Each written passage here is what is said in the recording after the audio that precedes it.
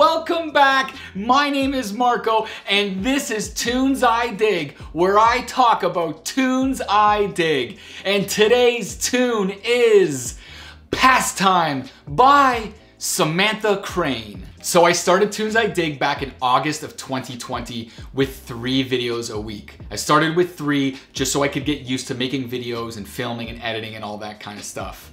I had the intention of expanding up to five videos a week. One of those videos per week would be sort of a way back playback, focusing on songs that I grew up with that I think people have forgotten or even the kids of today don't know exists. One of the other days a week was supposed to be a focus on my favorite bands.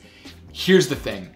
My favorite bands are all super popular. They don't need any more attention. So this Tunes I Dig journey has brought me along a way where I've connected with some of my fellow Canadians and Canadian bands and they've inspired me to shine a light not just on Canadian artists but the Canadian indigenous community. And while I do want to focus primarily on shining a light on the indigenous community in Canada, sometimes I might not get to it, but I do then just want to open it up and make it indigenous anywhere around the world. So with that said, Samantha Crain is an indigenous artist, but she is from the United States. I've just been, I was running a little late this week because life, I guess, I don't know, and I, I couldn't uh, hone in on a Canadian indigenous artist, so I'm going to kick off my weekly Tunes I Dig video. That's correct. One video a week will be highlighted by an Indigenous artist, primarily of Canada if I can, but if not, just Indigenous all around. And so this week it is Samantha Crain. So, guess what? Enough of me yapping. This is Pastime by Samantha Crain.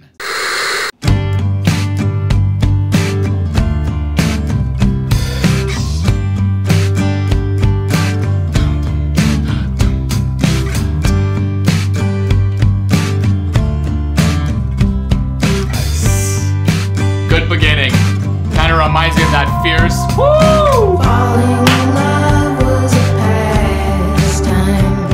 I practice every chance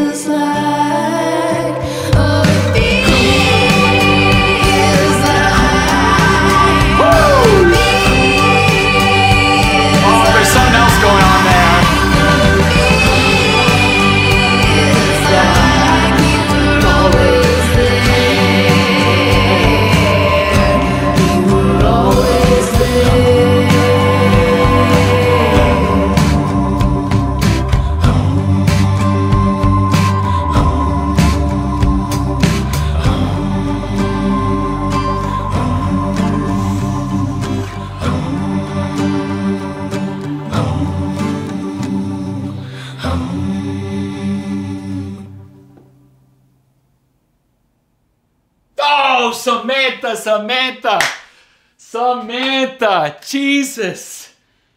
Whoo, Jesus. Oh, that was, ah, oh, beautiful. Thank you so much for that. Samantha Crain, everybody. All right, welcome back, everybody. Oh my God. What a what a beautiful song. I love that intro.